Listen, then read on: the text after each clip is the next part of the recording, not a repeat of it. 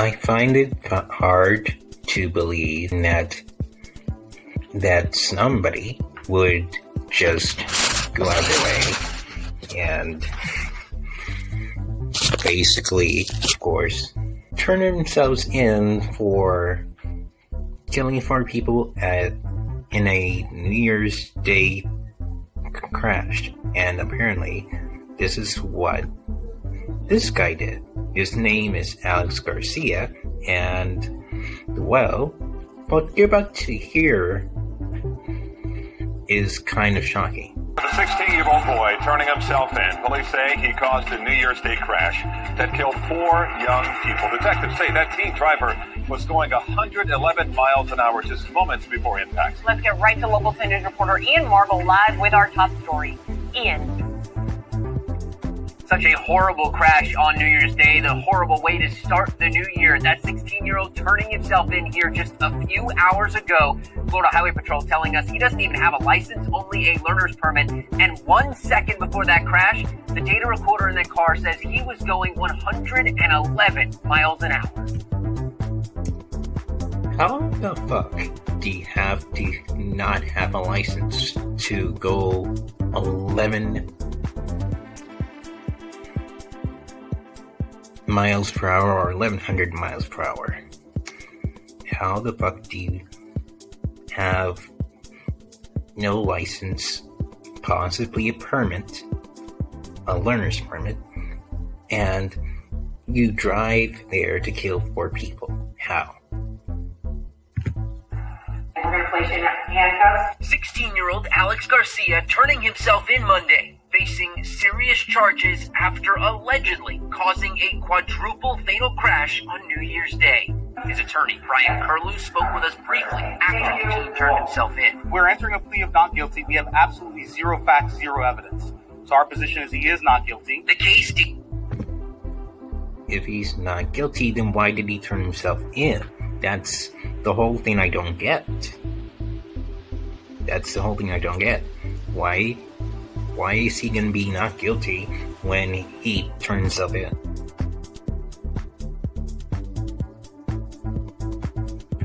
Dates back about three months ago, only hours into the new year. FHP investigators say Garcia was doing 111 miles per hour one second before plowing the Chevy Tahoe he was driving into a Hyundai Elantra filled with four people 21 year old Julia Gelabert Barzaga, her boyfriend, 22 year old Christian Mobile, and their friends, 21 year olds Andres Zacharias and Jender Salazar. She was unable to make it across the intersection because the defendant was driving at such a high rate of speed and failed to slow down as required by flashing yellow lights. All four of the people in the Elantra were killed instantly, while Garcia and the two other 16 year olds in the Tahoe were taken to the hospital but survived. Detectives say Barzaga, who was the designated driver for her friends that night, tested negative for any alcohol or drugs, while Garcia tested positive for weed and alcohol.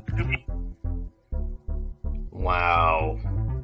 You have a driver's permit and you use that advantage because of your of your antics to be an irresponsible asshole to go out of your way and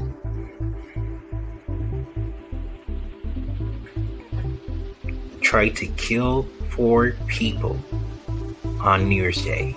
Really?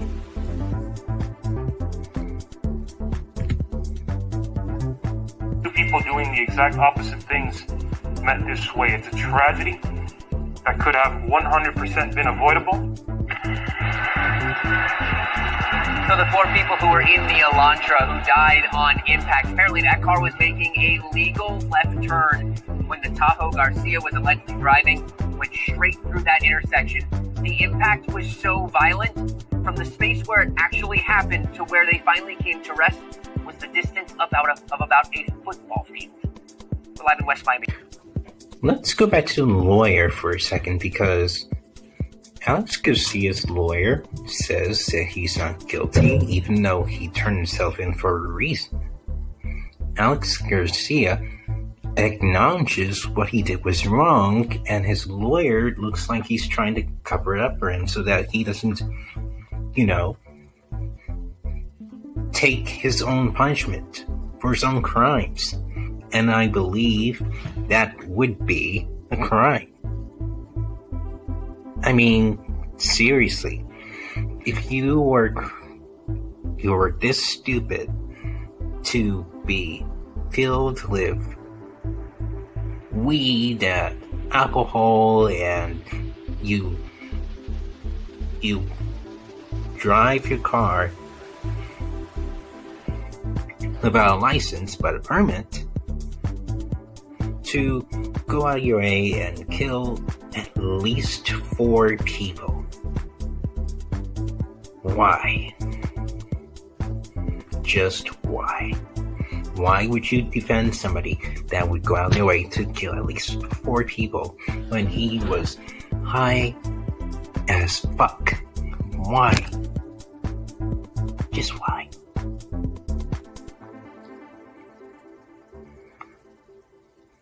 Are you insane? Are you insane? Like, this is this is just not.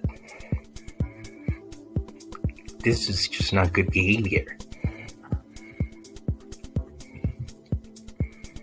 I mean, sure, that kid is 16, but it morally doesn't give him the right to be stupid. It morally shouldn't give him the right to be stupid.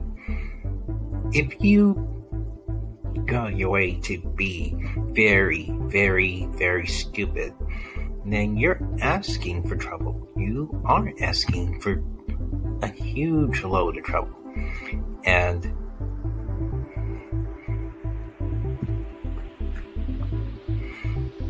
I just don't want to believe that he would be pleading not guilty because he clearly is. And since he turned himself in for a reason, I'm sure he wanted that punishment.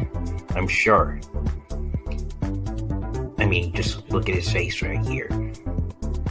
Just look. Does that not look like the face of a guilty person? Because to me it does. It really does look like a guilty person. And Alex Garcia should be serving his time in prison. He should not be led free just because he's like what? A junior or senior? I mean, come on. He nearly was like driving into four people that are mentioned in this story. How can this person not be in jail?